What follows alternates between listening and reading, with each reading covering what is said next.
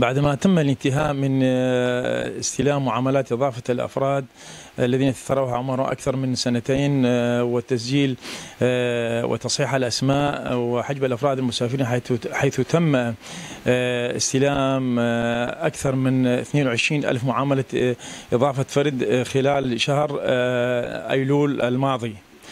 آه، وسيتم واعتبارا من يوم ال- غد الأربعاء إن شاء الله آه، استلام معاملة نقل العائلة من مركز إلى آخر وأيضا استلام معاملة نقل الزوجة من بيت الأهل إلى بيت الزوج.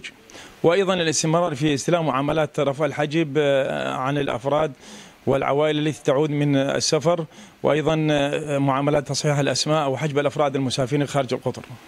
هل هناك شك ضغط عليكم آه، في حال تم المباشرة بالنقل أو الشطر أو؟ إحنا يعني إحنا تم وضع جدول المراجعة وحسب المراكز التموينية وحسب المناطق نرجو من إخواننا الكرام المواطنين الالتزام بجدول المراجعة المنشور على صفحة الفرع حتى لا يكون هناك زخم آه، أو ازدحام آه، عند المراجعة المستمسكات المطلوبة دائما.